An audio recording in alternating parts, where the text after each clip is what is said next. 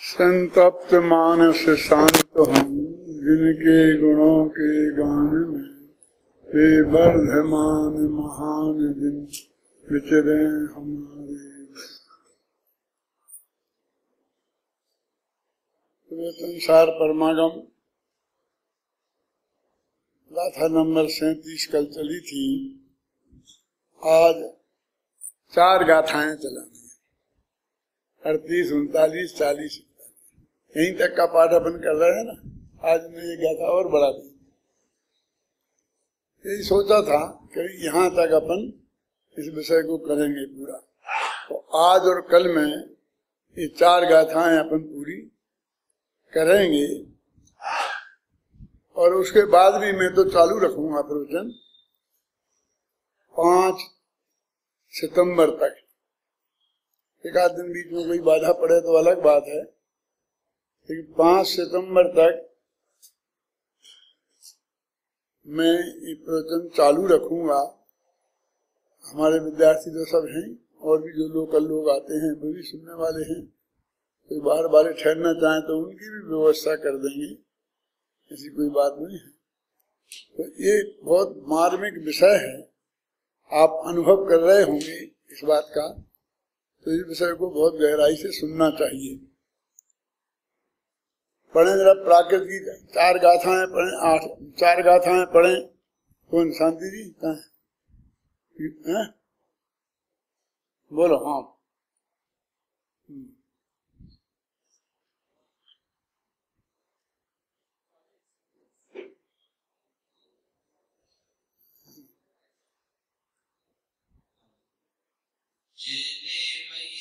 ध्यान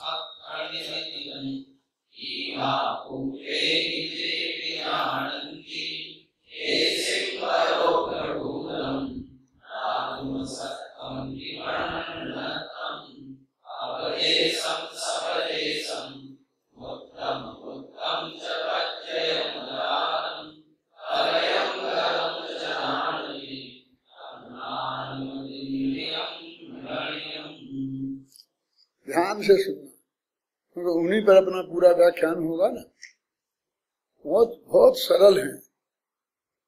प्राकृत में भी बहुत सरल है और हिंदी में तो बिल्कुल आपकी समझ में आती जाएँगे, इनका अर्थ ऐसी है। बोलो।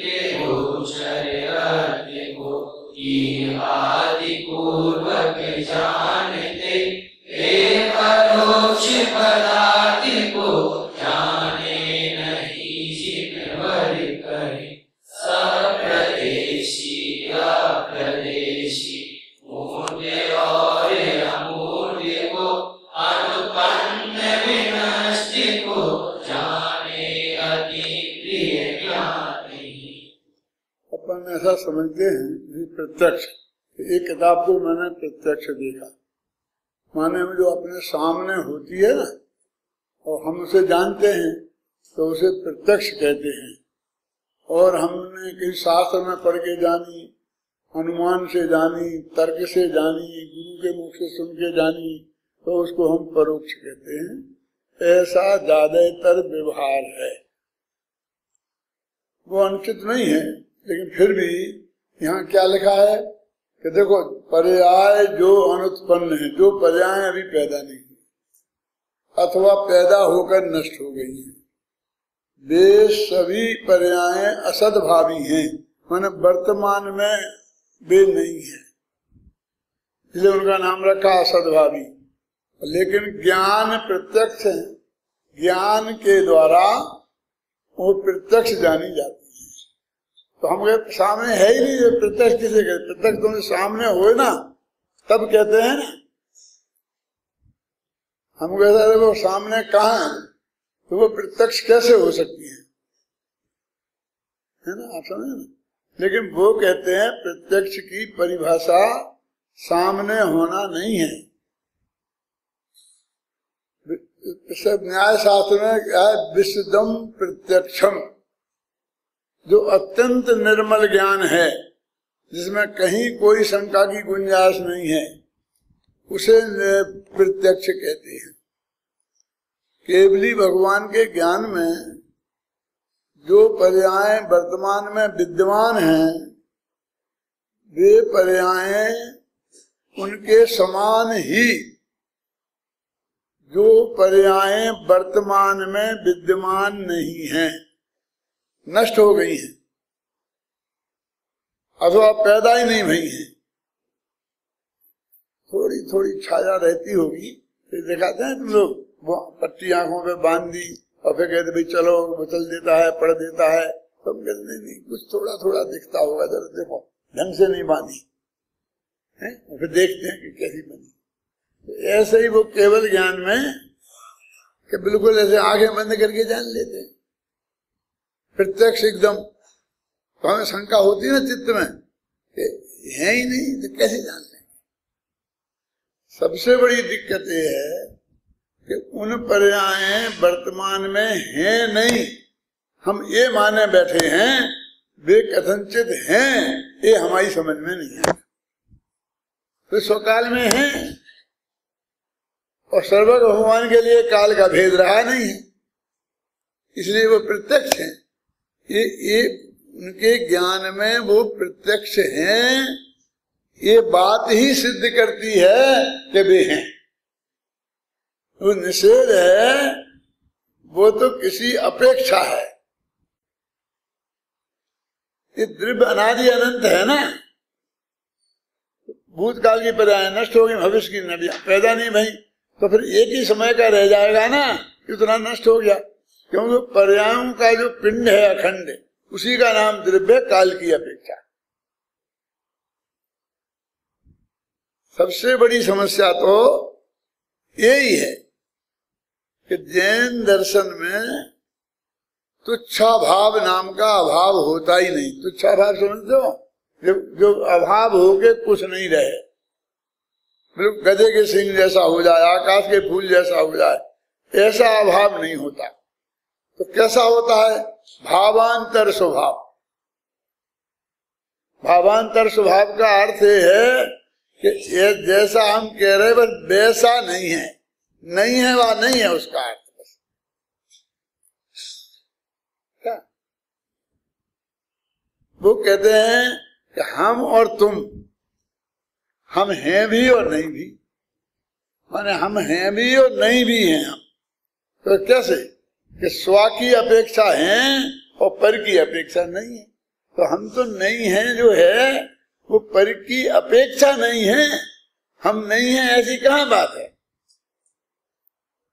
आप समझ रहे ना? जिसके बारे में वर्णन किया जा रहा है, उसका तो दूसरे में अभाव बताया जा रहा है। उसमें थोड़ी अभाव है। हम में तो पर द्रव्यों का अभाव बताया जा रहा है। हम तो आप कहते शरीर में आत्मा है, शरीर में आत्मा है। क्यों? कहते कि नहीं कहते? शरीर में आत्मा है ना? तो ये हमारा शरीर है, इसमें आत्मा है ना? और नहीं होता तो हम मर गए कहलाते। तो इस शरीर को जला देते क्यों? तो शरीर में आत्मा है ना? तो वो कहते हैं कि न शरीर में आत्मा है, न शरीर आत्मा है। है ही नहीं। तो शरीर नहीं है। कि शरीर तो है, और आत्मा हाँ आत्मा भी है, और दोनों यही हैं। क्यों? फिर नहीं है कहाँ से लाए? कि यही एक आकाश के प्रदेश में दोनों रहते हैं, फिर भी शरीर जीव नहीं है, और जीव शरीर नहीं है, ऐसा अभाव जैन दर्शन में होता है। प्राग भाव प्रधनसा भाव अन्योन्य भाव अत्यंता भाव जिसे अत्यंता भाव बोलते हैं, वो भी तुच्छा भाव नहीं होता है। अत्यंत भाव है ही नहीं। अरे, इसमें नहीं है। जीव का पुद्गल में अत्यंत भाव यही है। दो द्रव्यों का परस्पर में क्या होता है? तो दो द्रव्य होते हैं ना, उन्हीं में परस्पर अत्यंत भाव होता है ना। कि अब इतना अत्यंत लगा हुआ है, वो फिर भी तुम खड़ा रखते हो। है ना, हम क्या करें? इसका इसमें अत्यंत अभाव है। कि हमें तो मिक्सर दिख रहे बराबर। यही तो हम बता रहे हैं तुम्हें कि वो ज्ञान प्रत्यक्ष ज्ञान में दिखाई देता है। तो फिर हम तो कहते हमारा ही ज्ञान प्रत्यक्ष परोक्ष, हम ऐसा घटित करते हैं। हमारा आपका ज्ञान प्रत्यक्ष है ही नहीं, घबराना नहीं।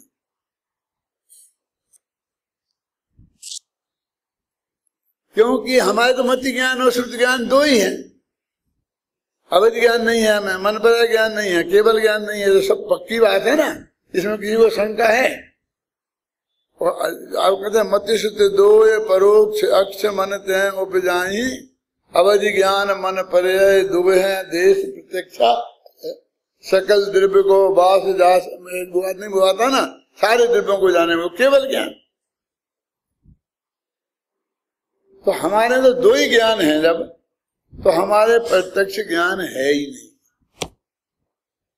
कि जो हम जो प्रत्यक्ष कहते हैं, वो तो साम व्यवहारिक प्रत्यक्ष है। साम व्यवहारिक माने व्यवहार में, दुनिया में कहा जाता है। वो तो वास्तव में नहीं है।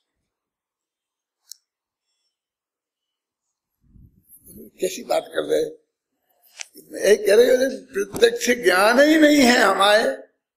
तो किसी का प्रत्यक्ष हो, किसी का परोक्ष हो, ऐसा कैसे होगा? टोडरमल जी ने रहस्यपूर्ण चिट्ठी में इस बात को बहुत स्पष्ट किया है कि तू कहता है कि मुझे प्रत्यक्ष ज्ञान अनुभव हुआ तो अनुभव प्रत्यक्ष होता ही नहीं, जरा समझना।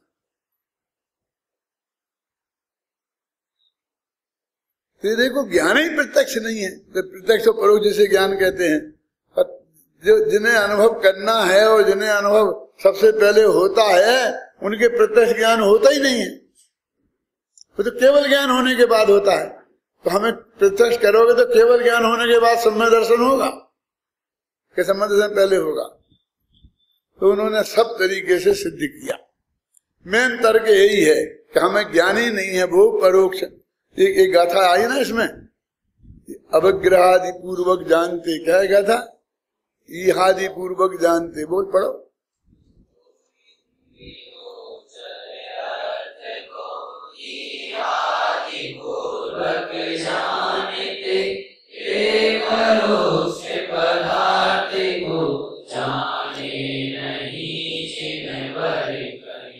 कैसी विचित्र बात है? ठीक लगती है आपको, दादाजी? ठीक लगती है? मुझे तो क्या कह रहे? कि जो इहादि पूर्वक जानते हैं, वे परोक्ष पदार्थों को नहीं जान सकते। अभी तो सिद्ध ये कर रहे थे कि परोक्ष को जानते हैं, उसे परोक्ष कहते हैं, कह रहे थे ना? अभी कहते, नहीं जानते। फिर पढ़ो उसे किताब नहीं किताब अड़ोसी पड़ोसी में देखो। कहा है मैं निकालू जो इंद्रिय गोचर अर्थ को, इंद्रियों से दिखाई देने वाले पदार्थों को इहादि पूर्वक जानते, माने अवग्रह या अवाय, धारणा, ऐसा इन रूप में जानते हैं। वे परोक्ष पदार्थ को जाने नहीं, जिनवर कहें। जैन भगवान कहते हैं कि वे परोक्ष पदार्थों को नहीं जानते नहीं जान सकते कि जान सकते क्या होना चाहिए? प्रदीप जी। अब यहाँ परोक्ष का क्या अर्थ है? परोक्ष माने सुमेर पर्वत। माने बहुत दूर है। जो क्षेत्र से दूर हैं, काल से दूर हैं, समझ गए ना? जो भाव से दूर हैं, सूक्ष्मता से दूर हैं, ऐसे पदार्थों को वो परोक्ष ज्ञान वाले नहीं जानते। तो ये क्या कह रहे कि परोक्ष ज्ञान वाले परोक्ष पदार्थों को नहीं जानते। भाषा की बहुत माथा मारने पड़े। कि हमें तो ऐसा शंका खड़ी हुई है ना क्या करें तुम? सोचते ही नहीं हो, देखते ही नहीं हो। फिर बराबर फटाफट नीचे का अर्थ पढ़ लिया तो देख लिया हाँ जैसा अर्थ आ गया हमारी समझ लिखा ना? वो पंक्ति, देखो, जो इंद्रिय गोचर अर्थ को इहादि पूर्वक जानते क्लियर है ना? वे परोक्ष पदार्थ को जाने नहीं जनवर कहें। तो परोक्ष पदार्थ को कौन जानता है? सब प्रदेशी अप्रदेशी मूर्त और अमूर्त को अनुत्पन्न विनष्ट को जाने अतीन्द्रिय ज्ञान ही। कि ये परोक्ष पदार्थ है सब। कौन कौन सब प्रदेशी अप्रदेशी बहुत सी पदार्थ है ना? और मूर्त और अमूर्त। तो जिसमें और अनुत्पन्न और विनष्ट, इन सबको अतीन्द्रिय ज्ञान जानता है। ये कह रहे माने परोक्ष ज्ञान जो हमारे पास है, वो इन पदार्थों को नहीं जान सकते। ये ज्ञान के स्वरूप के बारे में मैंने एक आध दिन समझाया था कि हम सबको जो जानने में क्रम पड़ता है। कैसे पड़ता है कि जैसे पहले दर्शन होगा किसी पदार्थ का, फिर दर्शन के बाद में अवग्रह होगा। अवग्रह के बाद में फिर उसको विशेष जानने का हम अंदर से हमें जिज्ञासा जगेगी और हम प्रयत्न करेंगे तो यह यह की परिभाषा ये है कि अवग्रह के जाने हुए पदार्थ में विशेष जानने का जो यत्न करना, उसका नाम क्या है? कहा लिखा? सरबार सिद्धि में ऐसा स्पष्ट शब्दों में लिखा है। अब वो हमने यह प्रयत्न करके जाना और जान कर, जान तो रहे हैं, लेकिन अभी नक्की नहीं हुआ। अभाव माने नक्की होना। निश्चित हो जाना कि भाई हमने अच्छी तरह जान लिया कि ये ये पदार्थ अब ये प्रक्रिया हुई ना, दर्शन, अवग्रह यह अवाय। अब हमने उसे जान लिया अच्छी तरीके से तो फिर वो हमारी धारणा में रखा गया। धारणा में चला गया। अन्य धारणा में नहीं जाए, अवग्रह अवाय धारणा है ना तो फिर वो हमें याद नहीं आ सकता। धारणा में जो जो चीज़ पहुँच जाएगी, वो कभी उनका फिर स्मरण हो सकता है। तो धारणा के बाद धारणा अवग्रह, यह आवाज़ धारणा, ये तो मति ज्ञान है। और फिर स्मृति, धारणा हो जाए तो स्मृति। स्मृति हो गए तो पृथ्वी ज्ञान, और पृथ्वी ज्ञान हो गए तो तर्क। तर्क मान व्याप्ति ज्ञान तर्क है। और व्याप्त तर्क हो गए तो अनुमान। ऐसा क्रम है हमारे जानने का। टोडामल जी ने रहस्यपूर्ण चिट्ठी में ये लिखा गया तुम अनुभव की अनुभव की बात बता रहे कि अनुभव कैसे होता है। अब उसमें कभी जब मैं बात करूँगा, तब करूँगा विस्तार से। ये ऐसा क्रम है। इसलिए परोक्ष ज्ञान क्रम से जानता है। और प्रत्यक्ष ज्ञान माने केवल ज्ञान, वो बिल्कुल डायरेक्ट सीधा और एक समय में जानते हैं। उनमें क्रम नहीं है। अब आप ये देखते हो कि बहुत सी चीज़ें अपन को याद रहती हैं और बहुत सी चीज़ें याद नहीं रहती हैं। तो ऐसा कैसे होता है? कि किसी ने गाली दी हो तो वो तो अगले भम में भी याद रहती है। मरते मरते बुढ़ापे में भी याद रहती है और मरते मरते बेटे से कह जाता है, उससे बदला लेना बेटा। और धर्म की बातें इतनी बढ़िया बढ़िया बातें हम बताते हैं तो कल की बात पूछते हैं तो आप नहीं बता सकते। ये याद नहीं रहती। तो ऐसा क्यों होता है? अब इसमें इस प्रक्रिया में समझो आप। जो आपको अवग्रह, फिर ईहा, फिर धारणा अवाय, फिर धारणा हो गई पक्की। वही चीज़ तो स्मृति में आएगी। अब ये आत्मा की बात तुम अवग्रह ही करके रह जाते हो बस। यह नहीं करते। अवग्रही रह जाते ऐसा क्यों कह रहा हूँ प्रदीप जी? क्योंकि यहा की परिभाषा क्या बताई थी? कौन बताएगा? इज़्ज़त वाले मत बताना। मेरे विद्यार्थी बता सकते हैं। हाँ बोल, खड़ा, खड़े हो गए, बोल। अब वो तूने ये हमने जो श्वास समझाई, वो तेरे अवग्रह में तो चली गई, इंद्रियों से आप अंदर तो पहुँच गई, कान अच्छे थे तो समझ में आ गई। अब तूने उसे विशेष जानने का प्रयत्न ही नहीं किया तो यह ही नहीं हुआ। क्या करना चाहिए? कम से कम इतना प्रयत्न तो करे। कि मुझे ये जब घर जाऊँ यहाँ से, घर मैंने अपने गाँव नहीं, यहाँ जो कमरा लिया है उसमें तो तब याद आ जाए कि क्या कहा था। तो मैं वहाँ विचार कर सकता हूँ, शास्त्र से देखने का विकल्प आए तो मिलान कर सकता हूँ, शास्त्र पढ़ सकता हूँ। अब वो यहाँ यही नहीं हुआ। अब इतनी भी याद नहीं, इतनी भी नहीं रही, वो धारणा तक पहुंचेगी, तब वहाँ पे घर पे याद आएगी। अब्बा कैसे आएगी, जब घर पे ही याद नहीं आ रही अभी कि क्या कहा था आज, ख्याल में है ना? है? तो क्या है? बोलो। क्या? तो ये जो अच्छी बातें हैं, वे आपकी अवग्रह तक होके रह जाती हैं। और शास्त्र की ये बात है नहीं, जो लोगों की जैसी रुचि होती है, उनके अनुसार होता है। अब जैसे मैंने कहा मुझे ऐसा मैं ध्यान दे पड़ता हूँ तो मुझे सब अवग्रह वगैरह सब हो जाता है तो मुझे सब याद रहता है। शास्त्र की बात। और नाम में आपको आप लोगों के भूलने लगा। कभी तो अशोक तुमसे भी कहूँगा क्या, क्या क्या नाम क्या नाम तुम्हारा? ऐसा मुझे पूछना पड़ता है कि क्या नाम? तुम्हारा नाम भी भूल जाऊँ प्रदीप जी। अरे हम तो इतने एक साथ रहे इतने बात गए अब तो विवाही जी हैं। कैसे कैसे भूल जाओगे? हम नहीं भूलने देंगे। अब क्या करें? समझे ना?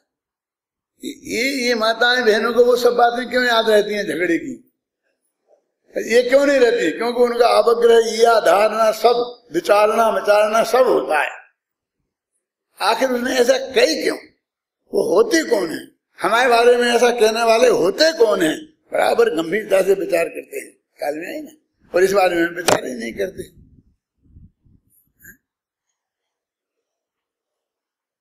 तो वो कहते हैं, इंद्री गोचर अर्थ को ईहादि पूर्वक जानते अब समझ में आई? ईहादि पूर्वक जानना माने क्या है? माने उसको जानने की जिज्ञासा होती है। देखो, दर्शन में तो क्या हुआ? कुछ है। पर इतना। उसमें वो विकल्पात्मक नहीं हो। एक कुछ है तो मैं बोल रहा हूँ। ये भी विकल्प नहीं होता उसमें। वो तो निर्विकल्प ही रहता है दर्शन तो। फिर उसमें ये कुछ है, हुआ, ये तो अवग्रह में आ गया। तो कुछ है तो क्या है? ये जानने का प्रयत्न हुआ तो यह हुआ। फिर उसे नक्की कर लिया कि यही है तो वो अवाय हुआ। अवाय हुआ मैंने नक्की हो जाना। और फिर वो नक्की हो गया और फिर हम अपने काम में लग गए। भूल गए बस। धारणा में नहीं लिया। इसलिए अब एक बात को अपन को दो दो तीन तीन दफे रिपीट करके कहना और सुनना इसलिए ज़रूरी है। क्यों? आपको इतना समय मिल जाना चाहिए कि आप धारणा तक उस बात को ले जाए। नहीं मिलेगा तो आप फटाफट अगले विषय में लग जाएँगे। तो वो वो बात ख्याल में नहीं आएगी। आप मेरा मतलब समझ गए यहाँ तो आपको जो सुनना है, वो इतना ही सुनना है कि मेरी बात जो सुनी है, क्या कहना चाहता हूँ, वो आपको कमरे तक याद रहे। बाकी काम कमरे में करना है। कमरे में तो फिर बहुत काम है। आपकी बहुत काम है कमरे में, मैं सोचना ही नहीं है। तो गया बस, सुनते रहना सारी ज़िंदगी। ऐसा ही निकल जाएगा। सचमुच कह रहा हूँ, कुछ हाथ नहीं लगेगा। बस तुम तो समझते हो ना यहाँ आगे बैठे हमने एक घंटा। तो धर्म हो रहा है ना। वो सब नहीं होगा, वो ज्ञान नहीं होगा तो नहीं होगा। पुण्य तो बंधेगा ऐसा वैसे पुण्य तो बंधेगा किसी ने हमें समझाया था। कि पूजा से भी ज़्यादा पुण्य प्रवचन सुनने में लगता है।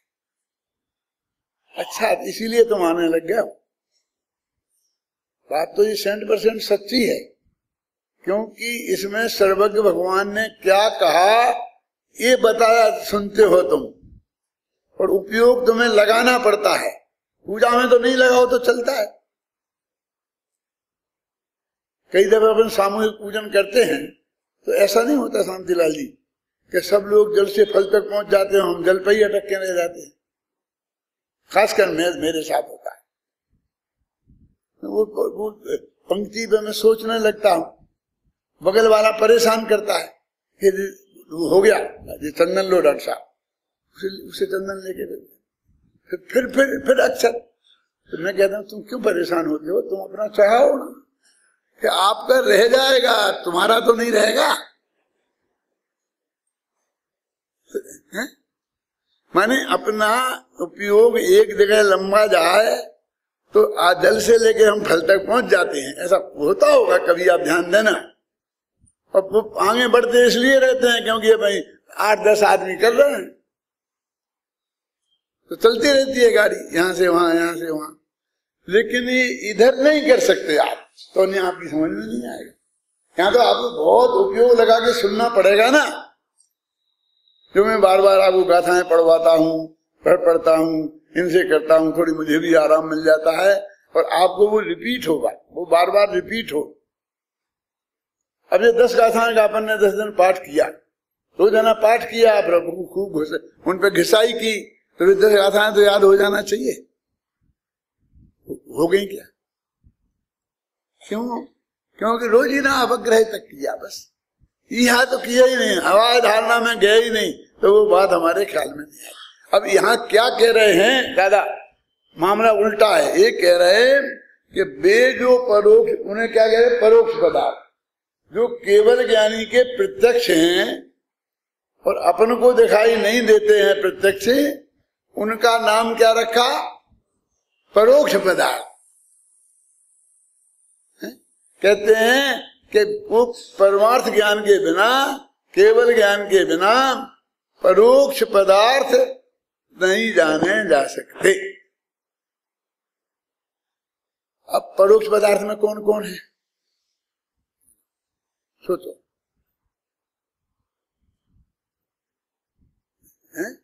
परोक्ष में कौन कौन है? इसमें लिखा है इन गाथाओं में। पढ़ो पढ़ो, मैं बताऊ। अपदेशम सपदेशम मुत्त अमुत्तम च पज्जय मजादम फल गदम च जानदी तमनाणमतीन्द्रियम भणियम तो अपदेशम सपदेशम अप्रदेशी पदार्थ मान एक प्रदेशी पदार्थ और बहुप्रदेशी पदार्थ।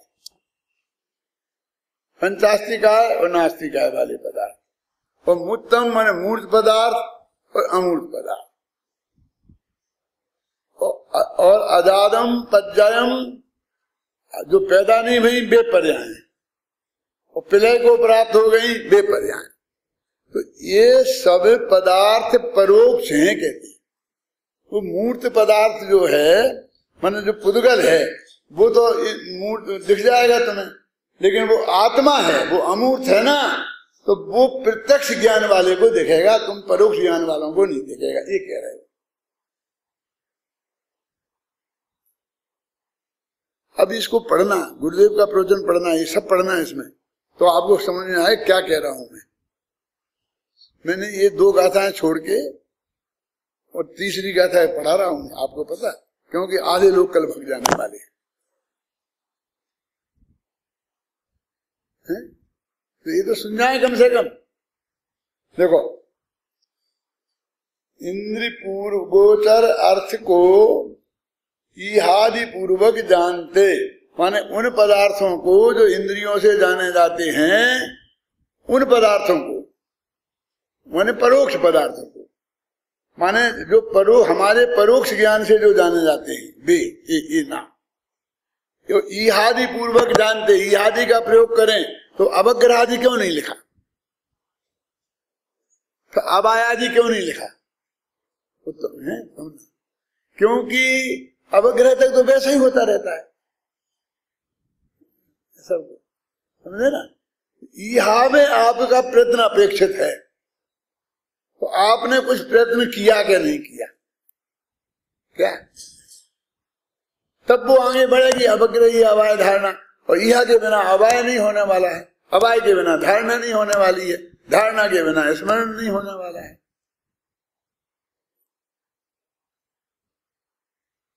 पृथ्वी ज्ञान नहीं होने वाला है अनुमान नहीं होने वाला है।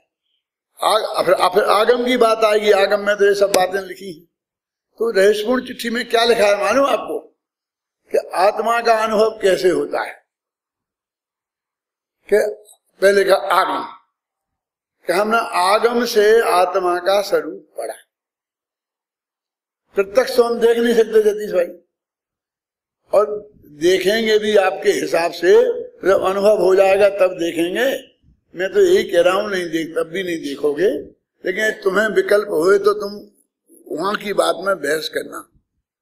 अभी बहस करने की ज़रूरत नहीं है। यानी आत्मा को, वो ये कह रहे हैं कि तुम्हें इंद्रियों से तो देख नहीं सकते। परोक्ष पदार्थ को तुम इहादी पूर्वक आए इसे जाके तो देख नहीं सकते। तो आगम से देखा तुमने। प्रत्यक्ष नहीं देख सकते तो आगम आगम परोक्ष है। तो कहते तुमने जैसा वस्तु का स्वरूप समझा वास्तव में जैसी वस्तु है वैसा। सही आगम तो वो ही है और आग, वो आगम ज्ञान सही है कि तुमने जो वस्तु जैसी है वो आचार्यों ने प्रतिपादित की हमारी समझ में वैसी ही आई हो। यदि कुछ अन्यथा आई होगी तो काम नहीं होगा। क्या समझिए ना?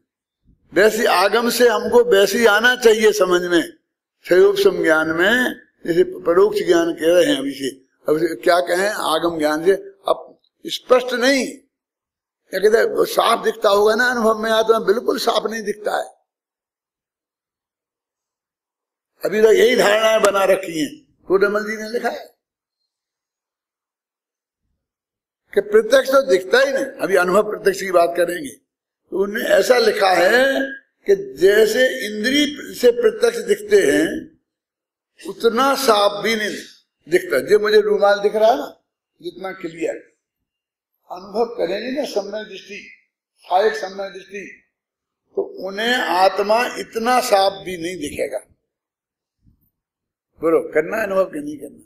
हम तो कहें कितना सूरज जैसा चमकेगा। एकदम चकाचौंध हो जाएँगी। वो आँखें ध्यान में मिट जाती, इसलिए मिट जाती है ना। सूरज दिखता है उन्हें। वो अनुभव में आत्मा इतना स्पष्ट प्रत्यक्ष भी, ऐसा भी नहीं दिखेगा। साम व्यवहारिक प्रत्यक्ष भी नहीं होगा उसका। अब वो कह रहे थे तो उसमें जो तुमने जाना आगम से, उसमें परिणामों को मगन करना ये अनुभव की विधि है। ये अनुभव करने वाला ये करता है। अब जो उसमें जाकर जितना उपयोग मगन हो जाए, वो उसमें अनुभव हो जाता है। फिर उन्होंने कहा दूसरा कि ना सही आगम से, फिर अनुमान से। तो अनुमान से वो फिर, अनुमान कैसे होता है? कि कितनी चीज़ें चाहिए? पहले अवग्रह चाहिए, फिर यह चाहिए फिर अभाय चाहिए, फिर धारणा चाहिए, फिर स्मृति चाहिए, फिर पृथ्वी ज्ञान चाहिए, फिर तर्क चाहिए। तर्क माने फिर नियम। ऐसा होता है तो ऐसा होता है। जहाँ ज्ञान होता है, वहाँ आत्मा होता है। जहाँ आत्मा होता है, वहाँ ज्ञान होता है। अनुभव और वितरिक दोनों ही घटित होते हैं। ऐसा मतलब समझ गया ना? फिर तब वो अनुमान से जानेगा। तो वो भी परोक्ष है। आत्मा के प्रदेश वहाँ भी दिखने वाले नहीं है। और कोई ज़्यादा निर्मलता क्योंकि वो तो नियम ही है कि वो निर्मल नहीं होता वो ज्ञान। उससे जाना, हनुमान से। फिर कहते हैं कि हमने पहले जाना था आगम से अनुमान से अथवा गुरु जी के मुख से सुनकर, वो आगम हो गया। आगम अनुमान ये जाना था, फिर हमारी स्मृति में था। तो हमने स्मृति में लाए। तो वो वो हमें याद आएगा आत्मा। कौन याद आएगा? जो गुरु ने बताया था, जो शास्त्र से हमने समझाया था, और उसमें परिणाम मंगन करता है। तो वो कहते हैं, ये सब चीज़ें परोक्ष हैं, इसलिए अनुभव परोक्ष है। ऐसा लगा उसमें। पढ़ना इस चिट्ठी में। ये सब चीज़ें परोक्ष हैं, ये जाना है। और फिर इतना लिखा है कि अनुभव हो जाएगा, अतीन्द्रिय आनंद की कणका जग जाएगी, आनंद आ जाएगा समय दर्शन हो जाएगा। फिर उपयोग बाहर आएगा। अब इससे जो खतरनाक बात है कि वो जब बाहर आएगा तो नया कुछ सीख के नहीं आएगा। उसके ज्ञान में रंच मात्र वृद्धि नहीं होगी, ऐसा लगेगा नया कुछ जानने में आता नहीं। वही आत्मा है ना ये, उसी का तो चिंतन किया है ना तो उसी के बारे में उपयोग में स्थिरता आई होगी। जो जो तुमने आगम वगैरह से जाना है। प्रत्यक्ष तो दिखा नहीं हुआ, जो नया आए। फिर तुमने इसी में परिणाम मंगन किए। अब जो ये कहते हैं कि मेरे अनुभव की बात है, मैं अपने अनुभव से आपको कहता हूँ, वो सफ़ेद झूठ है। क्योंकि उनका ज्ञान भी जो ऐसा कहते हैं, पहले आगम से उनने सीखा था हनुमान से सीखा था, उससे जो हुआ था, वो ही ज्ञान उनके पास है। और वो जब बाद में आगम पढ़ेंगे तो वो ही आएगा। इसलिए वो अनुभव के बाद इसका कोई मतलब नहीं है। मैं मैं अपने आत्मा को यहाँ देख देख के आपको समझाऊं, और आपको मानोगे वो अनुभवी है, और ये अनुभवी की बात है, और ये तो कोई कोरे पंडित हैं। इनने तो कोरा जाना ही है। अब आगम से जानना, जाना तो वो पंडित कहलाता है। तो तुमने आगम का अपमान तर्क से जाने, युक्ति से जाने तो वो पंडित कहलाता है। तो तुमने उसका अपमान उस ज्ञान का अपमान किया। विधि तो वो ही थी। और आपको हुआ तो है नहीं, जरा समझना। और तुमने उसका ही तिरस्कार कर दिया। बस हम तो पढ़ेंगे उनको अटक नहीं है। है कि? स्वाध्याय करने की उनको अटक नहीं है। अटक नहीं है क्या अर्थ होता है? कि पढ़ने की ज़रूरत नहीं। किसने कही? ये कहा कि उनका काम अटका नहीं है उसके बिना। क्या? वे नहीं पर सुनेंगे तो पढ़ के जान लेंगे। अटका नहीं ना काम। अपन कहते हैं आप काम अटका नहीं। अटक नहीं है का मतलब ये है कि उसके बिना उनका काम अटकेगा नहीं। वे आगम में पढ़ लेंगे, गुरु के मुख से जान लेंगे, गुरु के मुख से नहीं मिलेगा सुनने को तो आगम से जान लेंगे, आगम से नहीं मिलेगा, तर्क युक्ति से जान लेंगे। समझे ना? ये, वो ये कहते हैं कि वो वो वो ही है, और बाद में भी समय दर्शन हो जाए तो उसके बाद स्वाध्याय करना चाहिए कि नहीं? उसके बाद उसके बाद ही प्रवचन सुनना चाहिए कि नहीं? भगवान की दिव्य ध्वनि सुनना चाहिए कि नहीं? मैंने सब मिथ्या दृष्टियों को ही सुनना चाहिए। समय दृष्टियों को नहीं सुनना चाहिए। भगवान के समोषण में सब मिथ्या दृष्टि मिथ्या दृष्टि होते होंगे। गणधर देव ने, बसंत भाई, मिथ्यात्व की भूमिका में तो सुने ही नहीं महावीर को। और जब समय दृष्टि हो गए मन पर ज्ञान के धनी हो गए, द्वादश अंग के पाठी हो गए, तब उनको दिव्य ध्वनि सुनने को मिली, तब खिली। क्योंकि गणधर के बिना तो वो अटकी थी। और वे गणधर कब बने? मुनि गणधर बनता है ग्रस्त थोड़ी गणधर बनता है। समझ में आए ना आपकी में तो उन्हें कहा मिला महावीर से कुछ? जो कुछ था उनके उपादान से उनके अंदर से आया ना। और उनका उपादान तैयार था बस। समझ लीजिए एकदम, है? और वो सौदर मंदिर ने कहा, और वो चले आए। लड़ सकते थे नहीं? मैं तुम्हारे गुरु के पास क्यों जाऊँ? तुम अपने तुम अपने गुरु को यहाँ लाओ।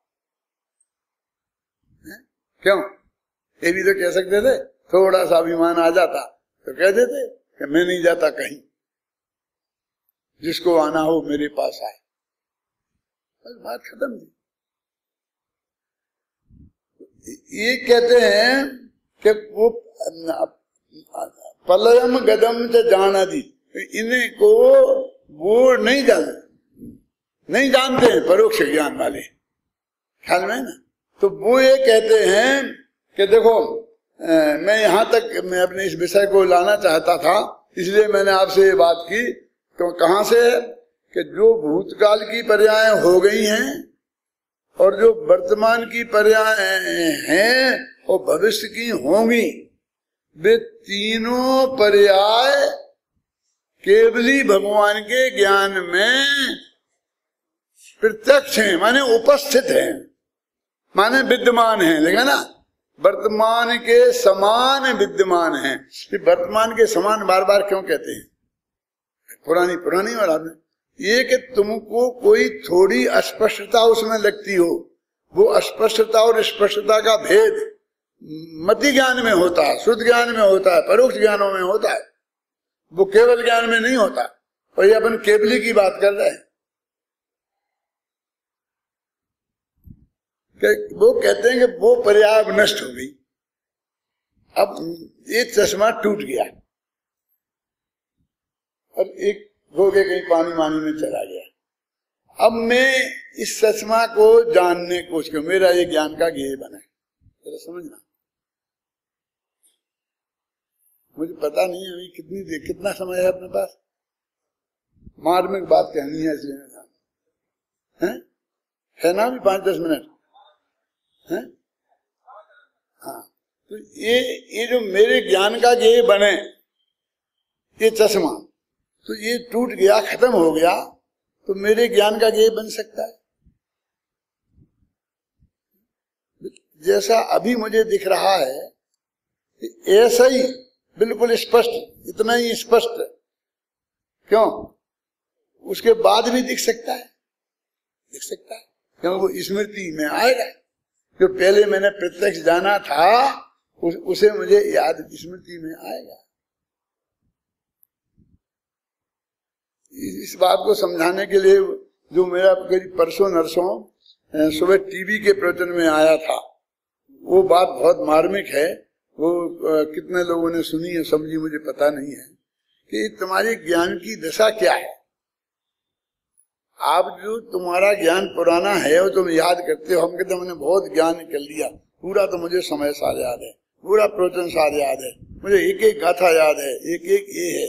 ये क्या है तुम्हारा? एक ये जो जो है ना तुम्हारे ज्ञान में उपस्थित, ये क्या है? ये ज्ञान है। ज्ञान है कि ज्ञेय है?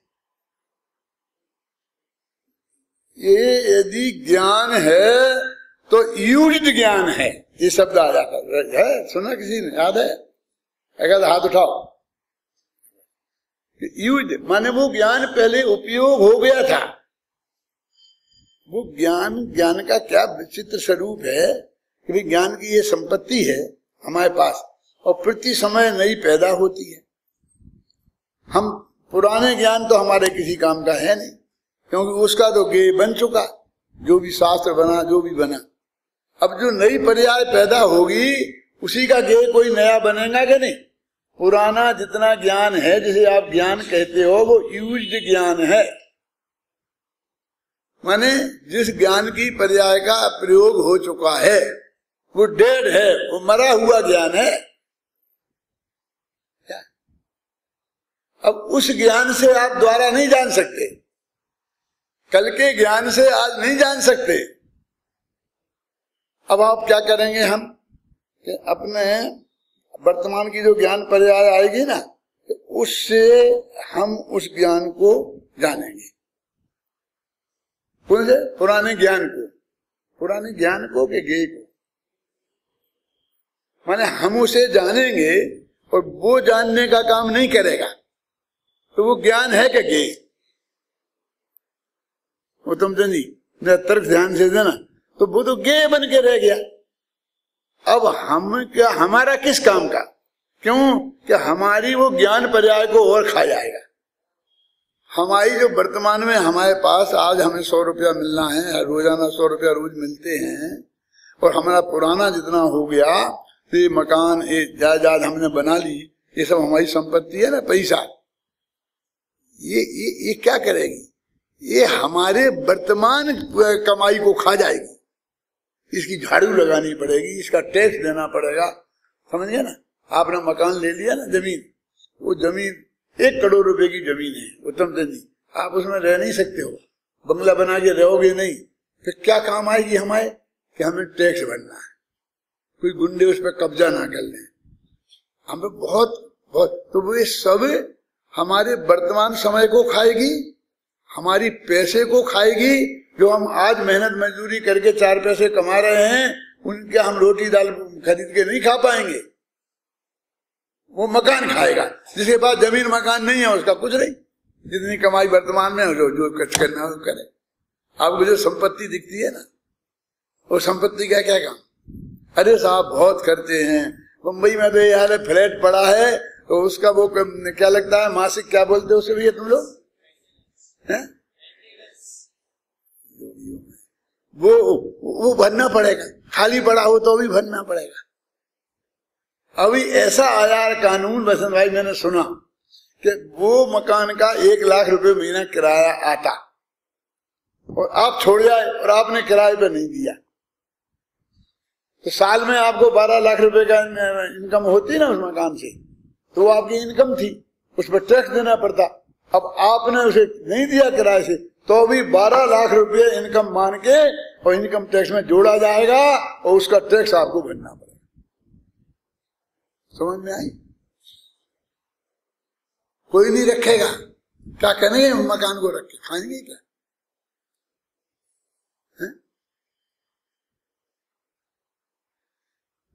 ऐसा यहाँ है। ये जो जितने शास्त्र याद है ना, घबराना नहीं। ये हमारे पुराना ज्ञान के गे है। और हमारे नए ज्ञान की जो पर्याय पैदा होती है, उसको खा जाते हैं। वो उसके गे बनते हैं द्वारा, जब तो सुनाते हैं बच्चे यहाँ। उसके गे बने तो उस ज्ञान की पर्याय से हम जो नया जानते, वो हम नया जानने से वंचित रह गए क्या पंडित रूपचंद जी? ठीक है, मैं सही पहचान रहा हूँ। एक, ये बात ख्याल में आ रही है, मैं क्या कह रहा हूँ? माता बहने आपकी ख्याल में आ रही है? ये जो पुरानी चीज़ें आपको याद हैं, किसने कब राज़ी दी थी क्या किया थी? उसे आप याद करती हो तो वर्तमान में जो ज्ञान की पर्याय पैदा हुई, जिससे आप आत्मा जान सकती थी, उससे आपने वो पुरानी चीज़ जानी, जो किसी काम की नहीं है। जो आपको आज भी याद आती है तो दुख होता है। कि उसने ऐसी गाली दी थी हमें? वो दुख होता है। बोलो, क्या फ़ायदा हुआ? मेरी स्मृति बहुत अच्छी है। अच्छा है कि बुरी है? स्मृति बहुत अच्छी है। माने मेरी वर्तमान ज्ञान पर्याय, मेरी पुराने बेकार की बातों में बहुत बर्बाद होती है। ये है स्मृति अच्छी होने का। क्यों? अब मेरी स्मृति कमज़ोर हो रही। तो हो जाना ना कमज़ोर, क्या करना अभी भाग्य से शास्त्र याद रहता है। हर आदमियों के भूलने लगा। चेहरे भी भूलने लगा। क्या क्या क्या नाम तुम्हारा, क्या नाम तुम्हारा? हर एक से ऐसा पूछना पड़ता है। आपको लगता होगा मज़ाक कर रहे क्या कर रहे आ जाएगा, पंद्रह मिनट बाद याद अभी नहीं आता। मौके पर नहीं आता। सामने खड़ा है। नहीं आता। तो पंद्रह मिनट बाद तो आ जाएगा ना। चलो, इतना तो अच्छा है। अच्छा नहीं है, वो पंद्रह मिनट मेरे दिमाग को खाएगा। वो पंद्रह मिनट मेरे वर्तमान ज्ञान की बर्बाद करेगा। मैं सोचता सोचता रहूँगा। उसी का नाम सोचता रहूँगा। क्या ज़रूरत है, उसका नाम मुझे याद नहीं आए तो क्या ज़रूरत है उसके नाम को याद करने की? क्योंकि माथा मानने की ज़रूरत क्या है? लिखा टोरामल जी ने। कि आपने स्मृति में, आपने पहले सर्वक भगवान की वाणी समोसन में जाके सुनी थी। किसी ज्ञानी धर्मात्मा को सुना था, गुरुदेव को सुना था, शास्त्र को पढ़ा था और लाना हो तो उसको लाना। तो वो तेरी देशना लब्धि का काम दे जाएगी। उससे तेरे को सम्मा दर्शन हो जाएगा। और सारे कसाई के झगड़े ये हुआ था ये हुआ था। इन सबसे क्या होगा? जगदीश भाई सोचे ये कल परसों के सुबह के व्याख्यान में आया था। मैं वो भी सुनता हूँ, मैं अपना प्रवचन भी सुनता हूँ। मैं एक मिनट बंद नहीं रखता हूँ अपना स्पीकर सुबह पौने पाँच बजे मैं से रखता हूँ। गुरुदेव की पहली टंकोर की आवाज़ मैं सुनता हूँ। फिर कुछ नहीं छोड़ता, चालू ही रखता हूँ। मैं घूमने इधर आ, आ सकता हूँ बाहर लेकिन मैं अपने घर में ही घूमता हूँ। आध घंटा पौन घंटा। क्यों? कि मुझे गुरुदेव का प्रचुर नहीं मिलेगा। बाहर चला जाऊँगा तो ठंडी हवा तो मिलेगी लेकिन प्रवचन नहीं मिलेगा।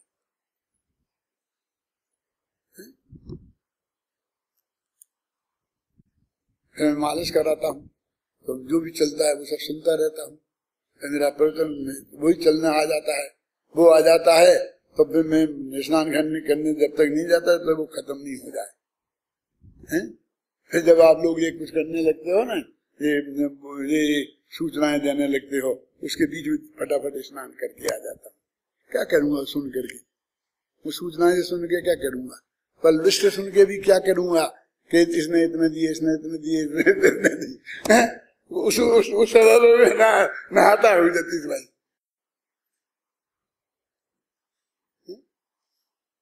अपने अपने ज्ञान, वर्तमान ज्ञान में यदि अभी क्षमता है तो उसका जितना सही उपयोग हो जाए, उतना करना चाहिए ना। देखो, पढ़ो जो, जिसका अर्थ में कर रहा हूँ। जो इंद्रिय गोचर अर्थ को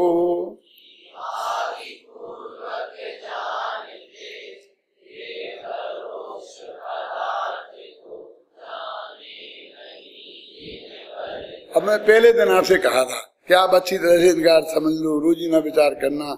मैं आपको बताता हूँ, इसका पुराने छंदों का कुछ अर्थ बताया भी था, इसे विचार करना। लेकिन आपने बराबर पढ़ा और आपको एक ख्याल में आ रहा है क्या कह रहे मुझे तो पहली चोट क्या लिखाई? ये परोक्ष पदार्थ को जाने नहीं? कि जाने? इंद्री गोचर अर्थ से इहादी पूर्वक जानते हैं, वे परोक्ष पदार्थों को जानते हैं और प्रत्यक्ष को नहीं जानते हैं। ऐसा ही है ना? ऐसे में तो उल्टा लिखा। वे जो प्रत्यक्ष पदार्थ हैं, जो केवल ज्ञान के द्वारा जाने जा सकते हैं, जो मत ज्ञान शुद्ध ज्ञान के द्वारा जाने ही नहीं जा सकते हैं और उनको नहीं जानते। ये कह रहे क्यों?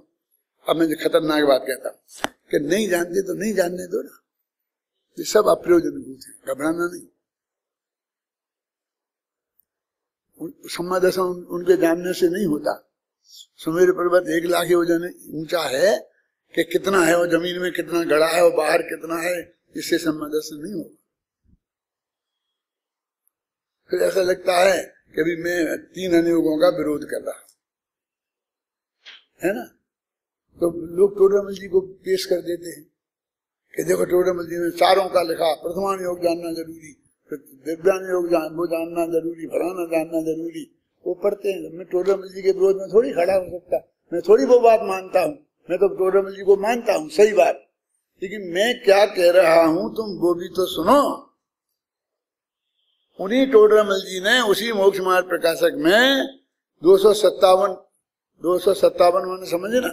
Two hundred fifty seven page पर लिखा है कि सम्यक दर्शन जो देशना लब्धि में, सम्यक दर्शन ज्ञान चारित्र देव गुरु शास्त्र, सात तत्व, सुपर भेद विज्ञान और हितकारी, अहितकारी भाव, बस इतनी चीज़ें जानने लायक इसमें नहीं आया सुमेश पर्वत, में क्या करूँ? इसमें नहीं आया प्रसमान योग, में क्या करूँ? ये नहीं लगा चौबीस का जीवन चरित्र जानना ज़रूरी है। उल्टा अर्थ मत लगाना। सम्यक दर्शन तुम्हें प्राप्त करना है तो त्रिकाली ध्रुव भगवान आत्मा को जानो ना। ये सब अप्रयोजन भूत है, उसमें लिखा है। और उनको जानकर उसमें आगे बढ़ो, अहो, मुझे तो इन बातों की खबर ही नहीं थी। मैं तो प्राप्त पर्याय में ही तन्मय हुआ था। इसकी पर्याय की स्थिति तो बहुत थोड़े काल की है। यानी मैं तो अनादि अनंत तत्व हूँ। क्यों? ये बात जानो। उन्होंने दिया सिलेबस दिया है। सम्मा दर्शन होने के पहले उसका वर्णन है ये लब्धियों का। तो उन्हें सिलेबस दिया है। अब उस सिलेबस में वो चीज़ नहीं है तो नहीं है।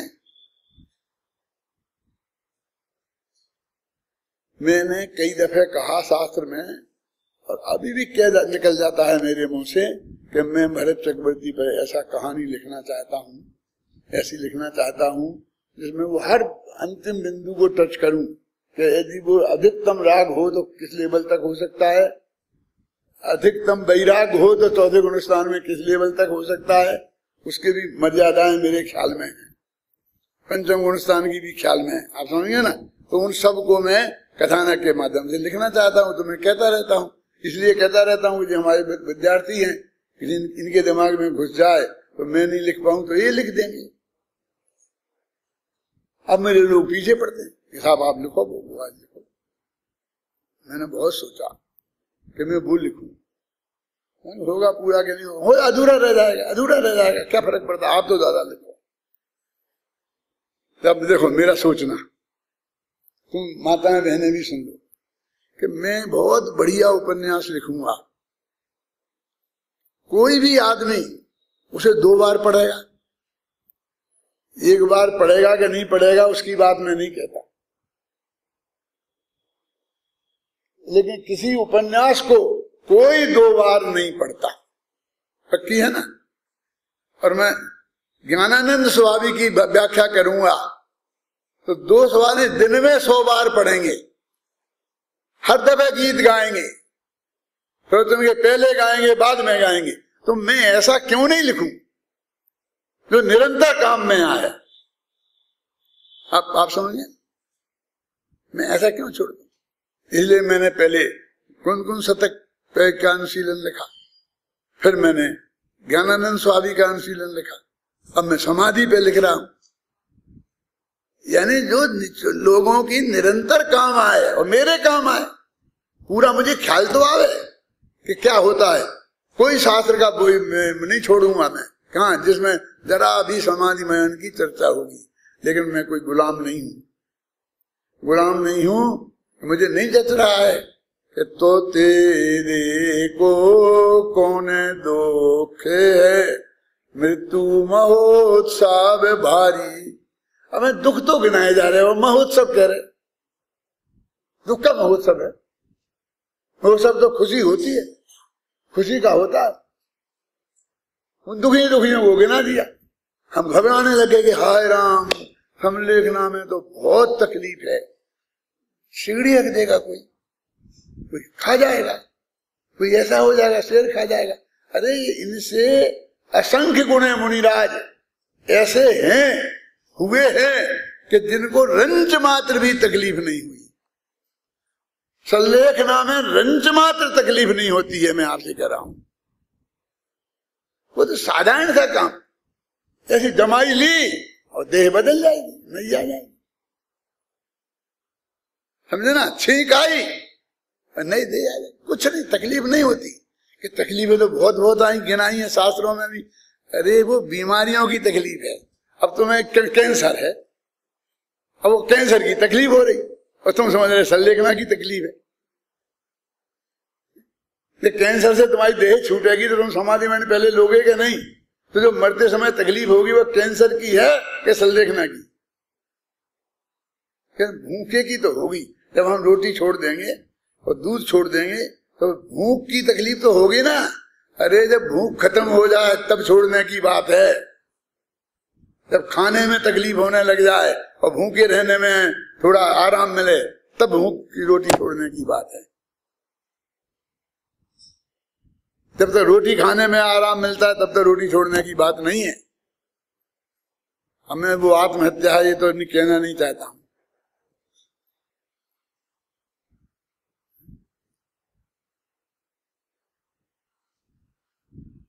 क्या मैंने मैंने जल, जल्दी निपटा दो जल्दी। क्या क्या निपटाना है? क्या निपटाना जल्दी? माने तेरे को अब मरना संशय है और क्या जीवित जीने की इच्छा हो गई? क्या तुम्हें जीव जीव जीव मरू नहीं? और अब मरू मरू मरू जल्दी जल्दी मर जाओ निपट जाए क्या जल्दी? क्या निपटना? हमारी संलेखना तो ये है कि चाहे लाखों वर्ष तक जीव चाहे मृत्यु आ जाए मरने हो तो मरे। वो सबसे बढ़िया वाक्य है जो मैंने कल आपको सुनाया था, कौन सा? ढूंगो माए के जाओगी कि हाँ जाएँगे, कि ढूंगो सास में जाओगी कि जाएँगे, कि मरोगे कि हम मरने को तैयार है कि बचे रहोगे, बचने को तैयार जो कर, जो तुम्हें हो कर दो। क्यों? कल प्रवचन करोगे, पंडित जी के नहीं करोगे, क्या करना है बोलो? हम चाहते हैं करो, करेंगे क्यों नहीं करेंगे? कि नहीं अभी कल नहीं, वो आ गए ना। तो उनका उनका होगा तो हम आपसे जरा माफ़ी मांगते। काय को माफ़ी मांगते हो? हमें आराम मिलेगा, थोड़ी तकलीफ़ थी गले में, अब आराम मिलेगा। काय माफ़ी काय की मांगना? हम तो खुश हैं। कराओ तो खुश, नहीं कराओ तो खुश। आप आप समझ रहे ना? ये परिस्थिति है, मरने तो खुश, नहीं मरने तो वहाँ है ही नहीं मरण। मैं एक बताना चाहता हूँ कि मरण में रंज मात्र दुख नहीं है। जो दुख है, वो सब बीमारियों का है और और चीज़ों का है। तो वो तो होने ही वाला है, उससे आप बच नहीं सकते। और उससे बचाव करने का इलाज तुम करो, ये आज्ञा संलेखना में है आपको। जल्दी मर जाओ, और नहीं लो, दवाइयाँ ये नहीं है, लेकिन आपकी मर्यादा में। कोई मांस मदरा की बात करे तो नहीं। मेरा मतलब समझ गया ना? उल्टा अर्थ नहीं है, बहुत। ये वस्तु का स्वरूप, हमारे ज्ञान, ये ज्ञान में है ना अभी? जो जो याद रहता है